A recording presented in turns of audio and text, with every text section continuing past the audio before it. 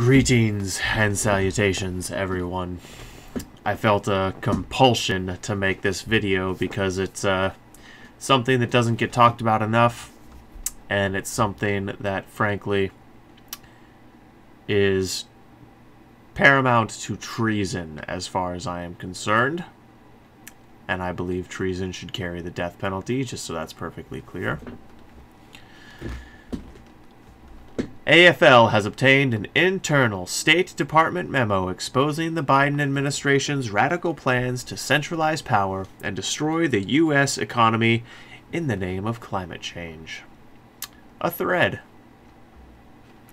The memo confirms that the Biden, excuse me, that the Inflation Reduction Act was never about inflation. In truth, the Biden admin lied to the American people. Gee, what a surprise pretending to fight inflation while enacting radical climate change measure targeting every sector of the U.S. economy. I'm going to move my little box here so you can see. the Inflation Reduction Act of 2020 is the largest step forward ever taken on climate policy in the United States. Together with other actions the administration is taking, the law positions the U.S. to achieve our own and reducing emissions 50 52% below 2005 levels in 2030. Our own NDC. That must be uh, some kind of acronym for climate related goals. President Biden's goal of reaching net zero emissions. If you know the uh, if you know what the NDC acronym is, please let me know in the comments. Increases their ambition and accelerate their implementation in line with the Glasgow Declaration. The act will save families. no, it won't. And create a bullshit figure a year on energy costs. No, the fuck it won't. And creates good jobs across the country. No, it doesn't while increasing our energy security and advancing environmental justice, which is a nonsense, made up talking point. It's pathetic that it's actually language being used in government documents. Climate justice is not a thing that exists. The IRA is projected to reduce greenhouse gas emissions by about 1 gigaton, a billion metric tons in 2030, 10 times larger than those generated by any U.S. legislation ever enacted with emission reduction coming from every sector of the U.S. economy. Further details about the IRA are available in blah blah blah. See also attached blah blah blah. So there you have it, folks. We're gonna go through the. We're not gonna open every damn memo. We're just gonna look at uh, the tweets that uh, summarize them. And again, the account is at America First Legal. You can come to this Twitter thread. Um, I have retweeted it on uh, my Dolge Thorn Transitioning Kids is Evil account if you want to go look at the thread for yourself.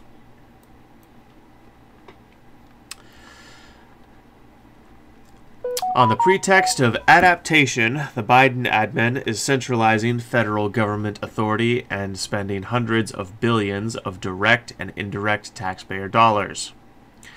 The Biden admin's budget reflects a quadrupling of climate finance, this in a time where our homeless population has exploded. We have a drug epidemic, a fentanyl problem coming across the border, illegal immigration at historic highs. Yeah, yeah, man, we, we really got to focus on making sure those cow farts aren't polluting the environment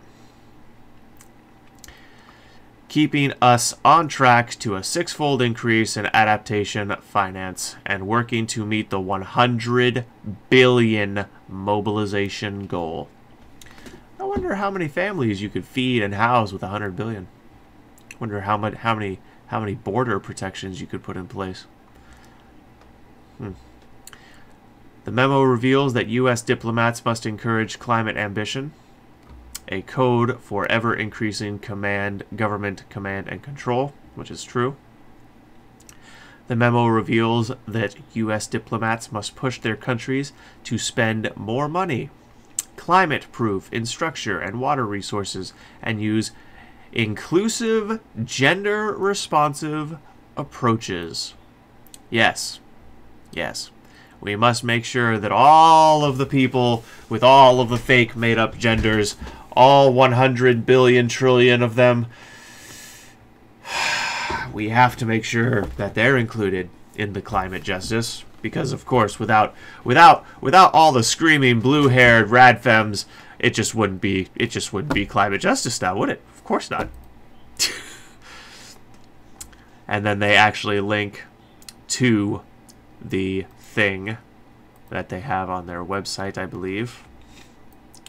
This article and I would highly encourage you to come check this out to inform yourselves on what exactly is going on. Not enough people are aware of this kind of nonsense going on in our government. it's the Soylent Green New Deal. The ruling class is cannibalizing humanity. Fun fact, the, the 1973 movie Soylent Green was set in 2022. That is wild. Oh man. Charlton Heston. Soylent Green. It's the year 2022. People are still the same. They'll do anything to get what they need. And they need Soylent Green.